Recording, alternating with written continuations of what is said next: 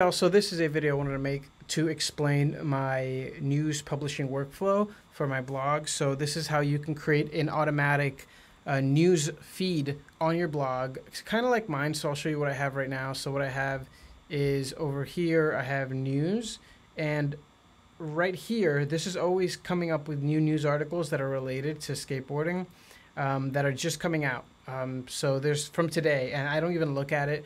Uh, I, I, I personally do edit them, but you don't necessarily have to because they come out looking pretty pretty solid with an image and just the news article. Now notice that they're very short. It's because these are supposed to be just news articles. Um, and, and in this next one, I actually went ahead and added like a, a video to it, but it, would, it wouldn't come with a video, but it comes with all the uh, information related to the news and it expands it a little bit. So how I made this is with make.com. So what happens here is I have an RSS feed, um, and you what you need to do is you need to go to Google News first and create and uh, or not create. You need to search for your topic. Um, and after you find your topic, skating, say randomly, um, then you will take the I think this take the URL of that, and then you create an account with rss.app, and then after you create an account, it'll ask you like what it, you know what feed do you you want to make, and then in the new feed you would you would enter your uh, the Google News uh, URL, and then it'll take a second. It takes like a minute to create the feed somehow. I don't know why it takes so long, and then it'll say here's your URL, and then there you go. That you can copy that URL from RSS.app, and then you can go over to here, and in this um, this module you will pl- paste that and I have it set to return one item so that every time that the sequence happens, it happens to one item.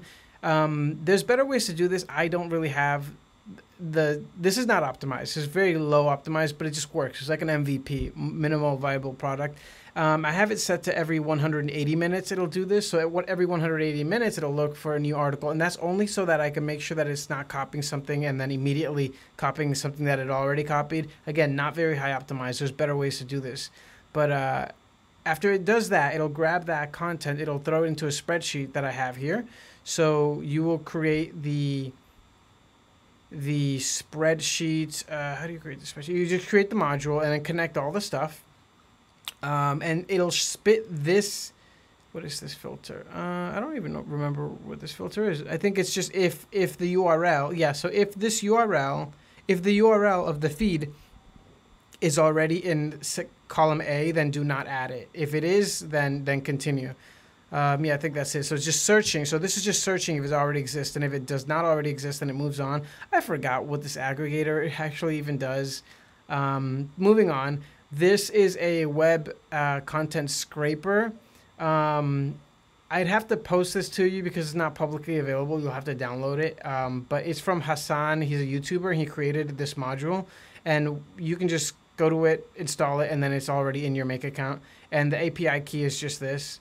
Uh, and then what that'll do is it'll scrape that URL, and then it'll update the row. So, oh no, it won't update the row. It'll add a new row.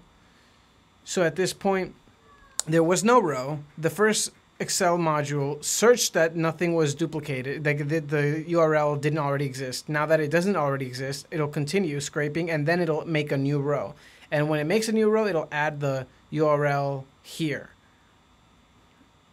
The next step is it'll, uh, this is actually not necessary, a router. Um, that's if I wanted to publish this to multiple things, but I, I guess I could technically just delete this altogether, but I won't do that right now. Um, then it'll go from here to here. So what Anthropic will do, I use Anthropic, not ChatGPT, because it creates better content for me. You can see here's my prompt. It's not the biggest prompt in the world. It's not the shortest in the world. It just has my tone of voice and exactly what I want in a specifically a news article, not a blog post. Those are totally different. So that's what I have here. Uh, yep, and and notice here uh, I have content when it runs, this would not be gray. This would be like a darker gray. But notice that below is the source content for the article. And these and how this all works is by variables. So the variable here is content. So it's grabbing content from here, throwing it to here. And how does it know what it is? Because it, what's a variable? So this creates a variable with all the content, and then I can reference it right here. Um, and then similarly, I have another because there's no real good way to chat with make.com right now for these type of systems. So you just have to pile up, pile a bunch of these on top of each other. So this is creating the content, and then I say, here's my content, and then I wanted to edit it even further. So I wanted to add some things, remove some things, just make sure that it's uh, highly optimized. And ideally, you'd make three or four more of these checks, because then after this finishes, it'll make a new variable, and then you would create a new Anthropic module saying, hey, now with all this perfect content, do this more stuff and that's how you get a really good uh, piece of content. Uh, and then it'll take this content, I make it into Markdown. So I wanted to go from Markdown to HTML. And this is something that I'm not sure if it works properly yet, so don't mind it. You can actually just go straight from here to here. But what I'm trying to do here, actually from here to here, but what I'm trying to do here is use a parser to eliminate some content uh, using regex. If you don't know what that is, don't worry about it, it doesn't matter. Um, that is, so let's say we're going from Markdown straight into here and we delete these two.